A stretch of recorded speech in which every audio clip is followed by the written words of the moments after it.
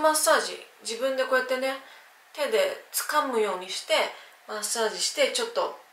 疲れも取れるし顔のむくみもすっきりするのでヘッドマッサージはね自分でよくやるようにしてます。こんにちはあゆみれいこです、えー今回は出張先今回は出張先でも必ずやる美容っていうことでちょっとご紹介していきたいと思います。私は普段お家にいる時もあの出張先の時も必ずやってる、まあ、デイリーケアがあってそれをちょっと今日はご紹介したいなと思います。でまずねいつも飲んでるサプリメントなんですけども錠剤の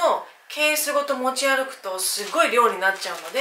こういったパッキンの中にサプリメントを入れて持ち歩くようにしてます、えー、とよく飲むのはナイアシンとオメガ3とあとビタミン E ビタミン B あとマグネシウムですね。は必ず飲むようにしてます。はい、こんな感じでね透明のパッキンに入れていつでもどこでもささっと飲めるようにしています。はい。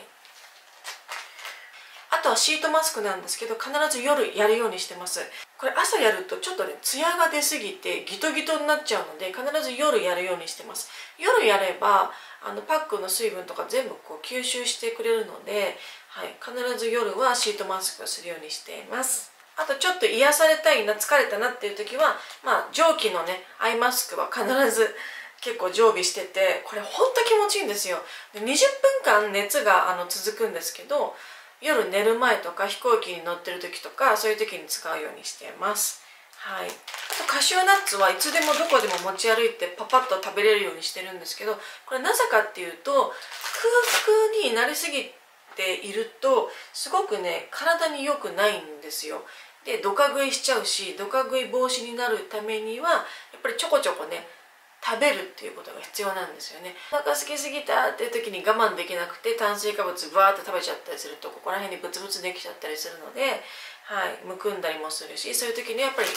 カシューナッツを食べるようにしてます。あとは単純にねお水なんですけどお水は1日2リットル飲むようにしています。あと普通にリンパを流すねこうやってマッサージ自分で結構できるんですけどこのねグリグリグリグリを使ってリンパを下に下に流していく。